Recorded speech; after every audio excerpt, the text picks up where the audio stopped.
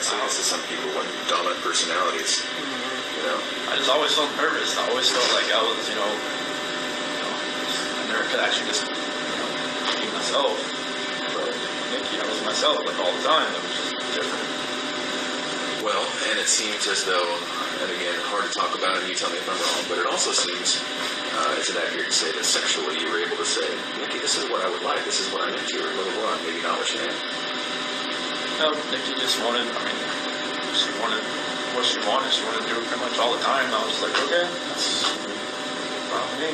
Okay. You know, with Shan, it was like, like, hey.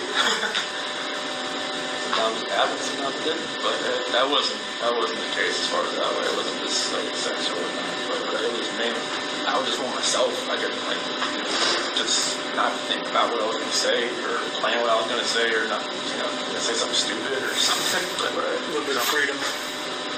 Can I ask you something about tell her how I was feeling at that point in time. Like I didn't feel like me and her were compatible anymore. I honestly didn't feel like that because what was going on with Nikki, it was it was new. It was new. Right, absolutely. Anything that's new always feels better than the old. You were probably bitten by the love bug?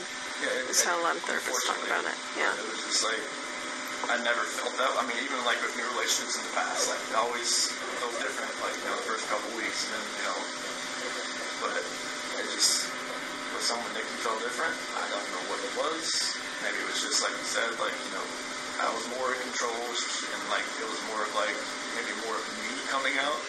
Because Shanann always said like it always seemed I was more myself around other people, like you know her cousin Cody, like you like she uh, Cody lived or came up visit us for a little bit while we were in Colorado for a little while, and Cody always talked about you like call him Chris is so funny, Chris is like Shanann would always like why you never like that with me? I'm just like you know, maybe I always felt nervous around you.